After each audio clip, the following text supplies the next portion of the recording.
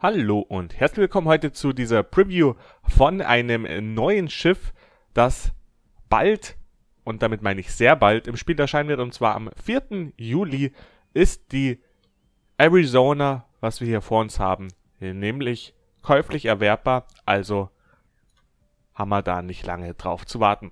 Die Arizona ist ein Tier 6 Schlachtschiff der Amerikaner, in dem Fall ein Premium-Schiff. Und natürlich wollen wir da wissen, was kann denn das Beast so. Verbrauchsmaterial, natürlich Reparaturmannschaft und Aufklärer, das ist das, was man am Start haben kann. Verbesserungen sind diese möglich. Ich überfliege die einfach mal nur, dass ihr wisst, was kann man denn da so machen. Das Äußere natürlich auch immer eine Frage. Erstmal bauen wir da aus. So schaut das Schiff komplett ohne Tarnung aus. Die blaue tun wir natürlich wieder rein. Dann gibt es hier Typ 1, Typ 2, Typ 5 oder natürlich Typ 6 dann hier das dickst mögliche. Jetzt denkt ihr euch natürlich, ja, schöne Werte, aber was kann denn das Schiff überhaupt so? Wir haben 356 mm, Ladezeit 35 Sekunden, 60 Sekunden für 180 Grad Karre, also da sehr, sehr lange. HE Granatenhöchstschaden 5000 und AP Granatenhöchstschaden 10.300. 57.200 Trefferpunkthammer, Panzerung 25 bis 343 mm, Haupttürme 4 Stück, Sekundärgeschütztürme 18 Stück und Flaklafetten 20. Reichweite ist 16 Kilometer und wir haben 35.000 PS, was uns 21 Knoten Höchstgeschwindigkeit bringt. Torpedoschutzverringerung 37%. Hauptbatterie, da haben wir schon gesehen, 4x3. Das sind vorne jeweils zwei Türme und hinten nochmal genau das gleiche. Die Sekundärbewaffnung und eben die 16 Kilometer Feuerreichweite. Zur Hauptbatterie sollte man vielleicht noch sagen, Brandwahrscheinlichkeit nach HE-Granatentreffer 30%, das ist sehr beachtlich. Und man sieht natürlich auch die Granatengeschwindigkeit 792 Meter pro Sekunde von AP und von Sprenggranaten 834 Meter. Flugabwehr ist okay, würde ich mal sagen, aber da kann man natürlich noch ein bisschen daran feilen. Höchstgeschwindigkeit 21 Knoten, schon gesagt, Wendekreis 640 Meter und die Ruderstellzeit 14,6 Sekunden. Die Verborgenheit natürlich eher so ein Thema, was nicht unbedingt ein Schlachtschiff interessiert, aber eine Kennbarkeitsreichweite aus dem Wasser mit 14 Kilometer und aus der Luft mit 11,1. Das waren jetzt mal die Hard Facts, aber jetzt schauen wir uns das Schiff auch im Spiel an und sehen, was das so austeilen kann. Und da sind wir jetzt also auch schon im Spiel und sehen hier das Schiff selbst in Aktion und ich lade gleich mal auf AP-Granaten und ich kann jetzt schon mal sagen, dieses Schiff ist wirklich langsam, wirklich träge, aber dafür sehr gut gepanzert. Man sollte nur von Beginn an wissen, wo will man denn hin und was will man überhaupt machen. Weil einfach mal schnell so umsetzen, beziehungsweise einfach mal umaimen, ist einfach so gut wie nicht drin. Also ihr seht, wie langsam da die Türme drehen. Hier mit knapp 16 Kilometer. Allerdings, die kommen dann schon in 9 Sekunden an, die Granaten. Das ist sehr flink. Und jetzt hoffen wir natürlich nur, dass sich die beiden Flugzeugträger nicht allzu sehr für mich interessieren, weil das könnte eher unschön enden.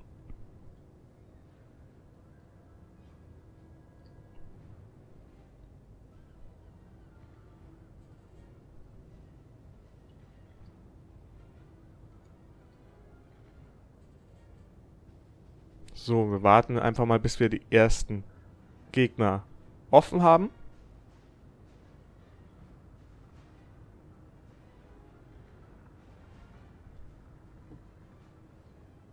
Da hinten, aber die sind noch sehr weit für uns entfernt.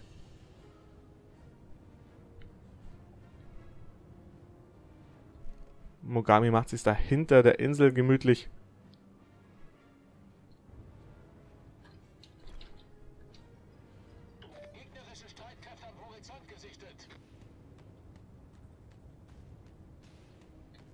So. Und jetzt kommen da die ersten Bomber.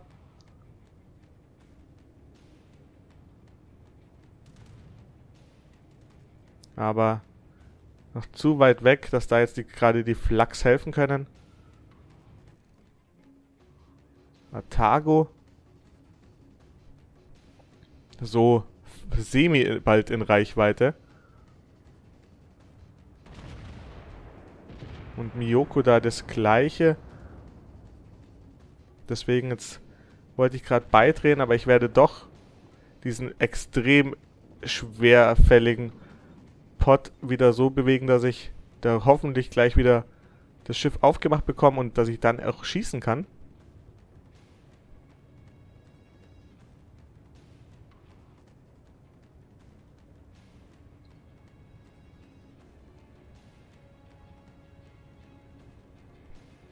So, aber da drüben erstmal nichts mehr zu sehen.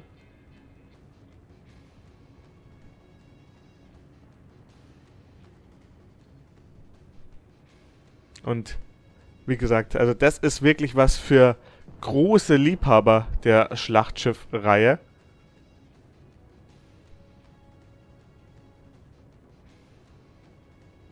Denn wirklich mobil ist man damit definitiv nicht.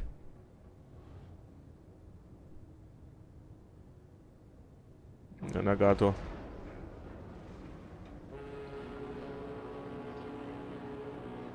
Da wollte er mich nicht passieren lassen. Aber das ist halb so wild.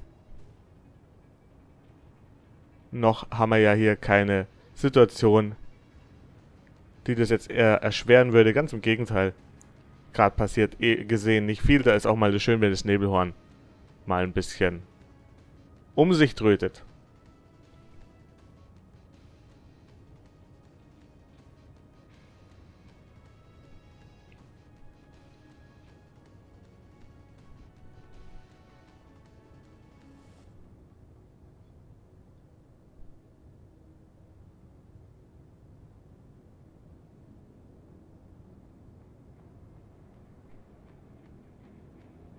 Flugzeuge machen auch keinen auf. Also gerade ist das eine sehr ruhige Veranstaltung.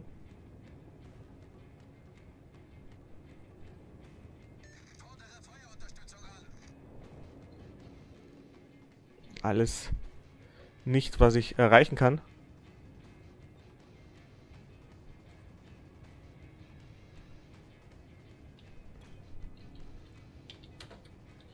Und jetzt haben wir die Miyoko.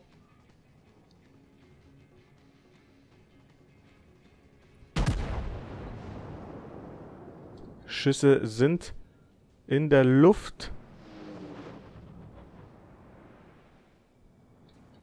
Aber nur einer geht da in sein Ziel leider. Und jetzt werde ich auch nicht mehr so weiter meine Breitseite offenbaren. Vielleicht hier auf die Aoba.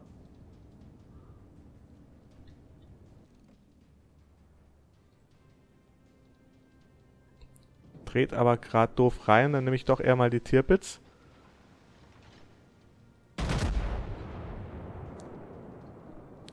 Schüsse selber sind recht genau.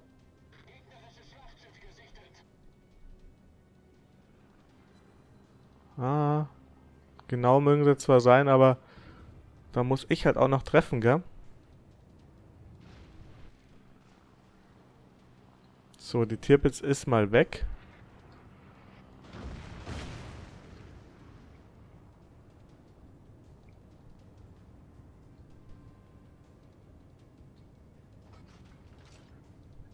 Und ich werde jetzt hier mal den direkteren Weg suchen.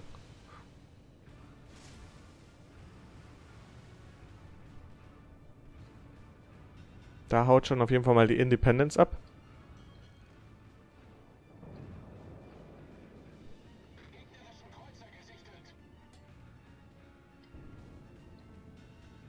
Da muss ich aufpassen, da kommt die Insel. Und auch das kann natürlich ein Hindernis am Ende des Tages werden.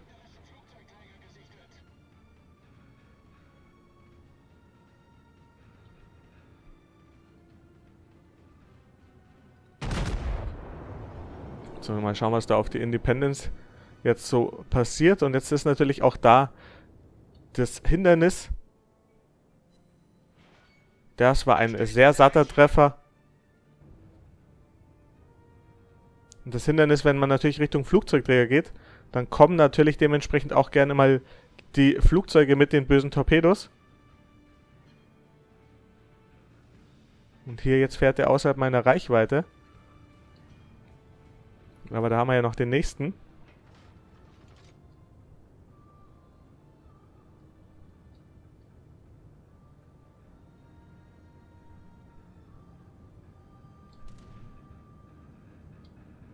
So, jetzt brauche ich nur so meine Kanonen mal am Start.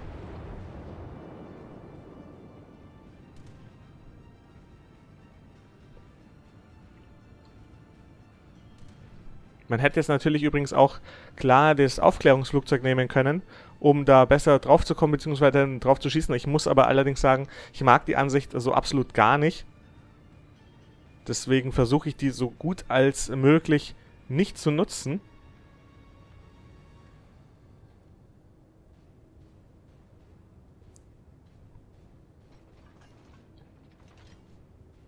So, die erober. Jetzt ein mögliches Ziel und die scheint auch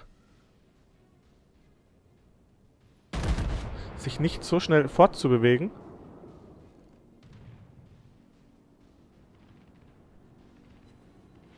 Und deswegen gibt es hier auch nochmal einen schönen Treffer.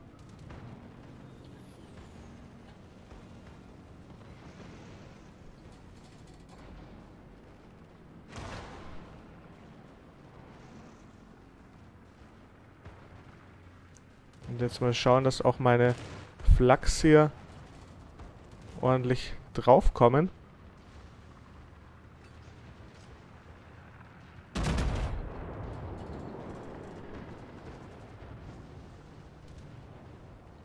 Aber das schaut schon sehr gut aus.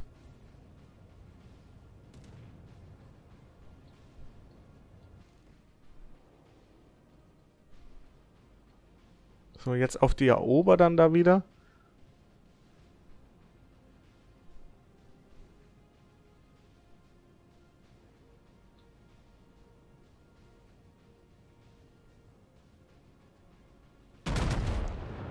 Und mal schauen, was da jetzt so passiert mit der.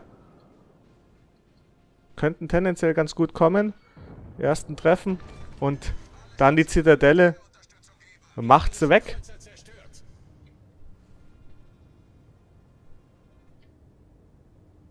Also genau ist er. An den Werten wurde mir auch von Wargaming gesagt, soll nichts mehr verändert werden. Also die soll so bleiben, wie wir sie jetzt hier auch erleben.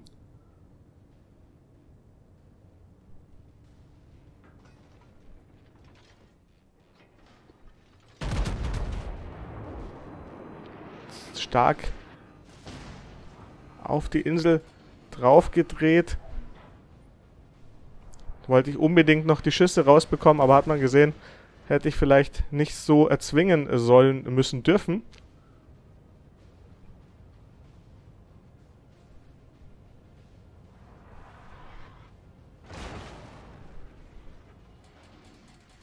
Aber wir behalten ja einiges aus. Das ist schon sehr beachtlich.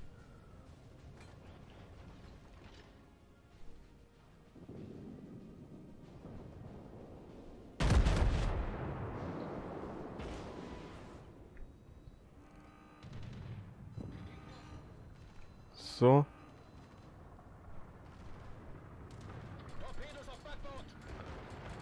Ich glaube, da müsste einer treffen.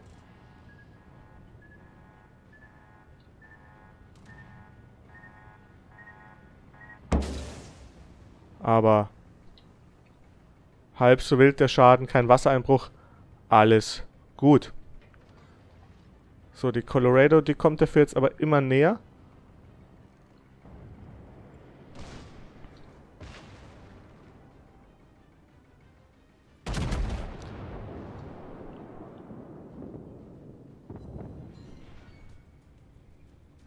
Dann schauen wir mal, was da jetzt so passiert. Mit der im Fight.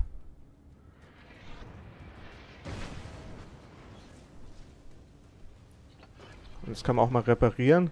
Gute Nehmerqualitäten hat hier die, äh, die Arizona.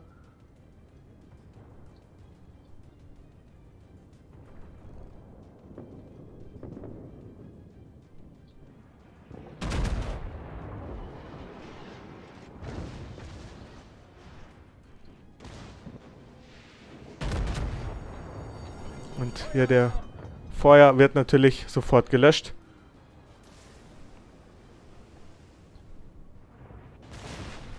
Und da brenne ich jetzt wieder, aber durch die Reparatur ist auch der Brand wieder erfolgreich vereitelt. Jetzt werden die sekundären auch noch aktiv. Der ist erstmal zerstört. So, und jetzt muss die Atago da mal langsam weg.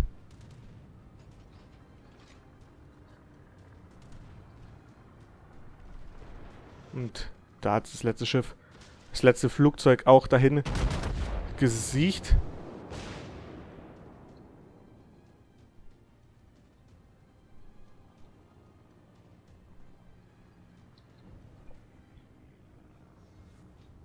So. Wir sind jetzt hier im Cap.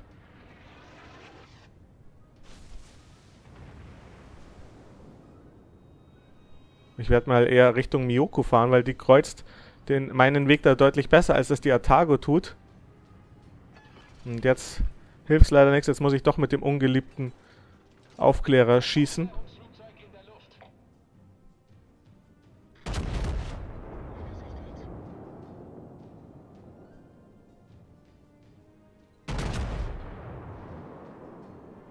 So, die Schüsse ah, landen alle ein bisschen zu weit weg. Oh, Ranger. Das ist ein schönes Ziel jetzt.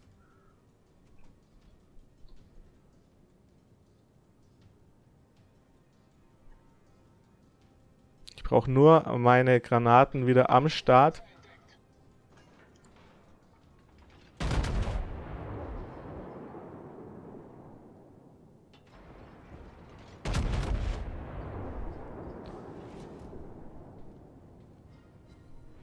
So, ja, schöner Eintreffer, aber der macht halt dann auch Schaden.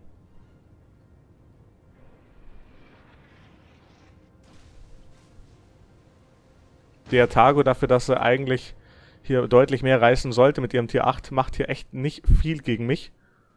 Sehr erstaunlich, was das Schiff für Nehmerqualitäten hat.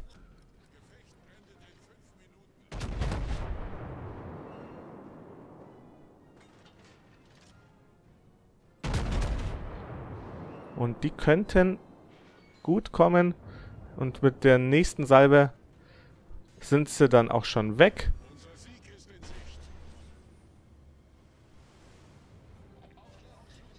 Und wir sehen das Ticketsystem bzw. die Tickets sind ganz klar auf unserer Seite. Und hier jetzt die Atago, die haut hier ab leider hinter äh, die Insel. Da komme ich nicht drauf, deswegen versuche ich noch der Miyoko so ein bisschen den Weg abzuschneiden. Ne, keine Chance.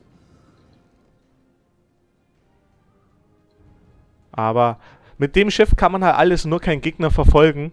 Also da muss man seinen Stiefel wirklich ganz knallhart durchspielen und einfach von der Panzerung auch gewissermaßen leben.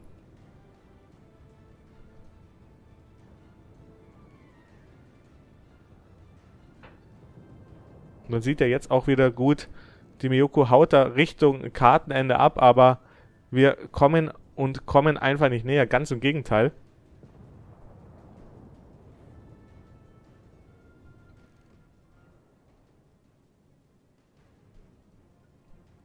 Und auch wenn jetzt in dem Gefecht, wenn es leider zwischenzeitlich einfach ein bisschen langweilig war. Wir hatten aber einen super schönen Hit gesehen. Wir haben gesehen, dass die was einstecken kann. Man, man hat natürlich auch die Langsamkeit gesehen. Man hat also alles, glaube ich, gesehen, was dem Schiff gut tut. Das ist ganz klar die Kanonen. Man hat aber auch gesehen, was dem Schiff schlecht oder was, was natürlich nicht da ist. Und das ist das Thema Manövrierfähigkeit. Also ich glaube, für eine Preview sehr vernünftig in der Form, dass man weiß, sollte ich mir das Schiff kaufen oder nicht. Vielleicht ein kleines Fazit von mir an der Stelle können wir ja jetzt auch ziehen. Ich würde sagen, für Schlachtschiffkapitäne, die eher so auf die Dreadnoughts stehen, das heißt die schweren Jungs, die auch was einstecken können, ganz klar ein Ja. Wer aber natürlich sagt, nee, er ist eher mit den kleinen, schnellen Schiffen befreundet, der sollte dann vielleicht hier die Finger von lassen. Der wird damit am Ende des Tages nicht glücklich.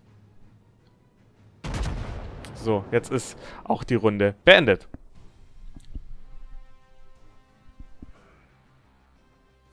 Man sieht hier auch jetzt gut die Credit-Ausbeute. Wir haben 71.000 Schaden gemacht. 243.000 gab es raus. In der Teamwertung sind wir auf einen sehr guten dritten Platz gefahren und haben doch ein paar der Flugzeuge runterholen können. Und natürlich der dicke Hit war hier auf die Independence. Und so gesehen, glaube ich, war es eine sehr ordentliche Runde. Ja, ich danke fürs Zuschauen. Ich hoffe, es hat euch gefallen. Bis zum nächsten Mal, euer Alkaramba.